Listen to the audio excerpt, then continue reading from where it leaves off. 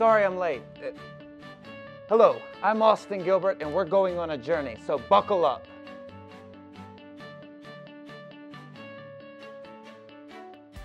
Before we take off, we're gonna need some essentials.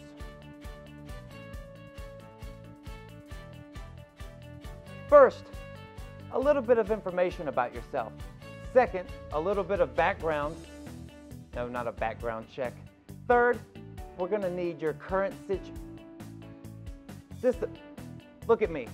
I came in late. Am I even the right one for this? All right, kids, I guess you're stuck with me. The adult journey begins with you. What do you envision for your future, for your community? We depend on our millennials to lead us to the next decade of transformation. What will you do to be the transformational student, employee, leader as we move forward? Do you want a job or a career?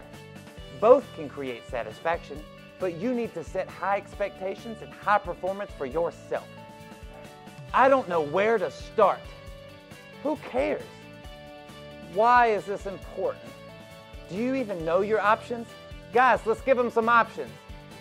You've got Career Builder, Indeed, networking, friends, Facebook, Google searches. There are so many more options as well. So why is this important? This is what your local community is saying. Let's take a look. I know you've got your book bag, but do you have all the tools you'll need? Let's talk about some of the buzzwords that will help you. Check out this link below. Hey! Let's review. What skills are your strengths? What skills do you possess that need improvement? What would your current employer say about you? Be on time!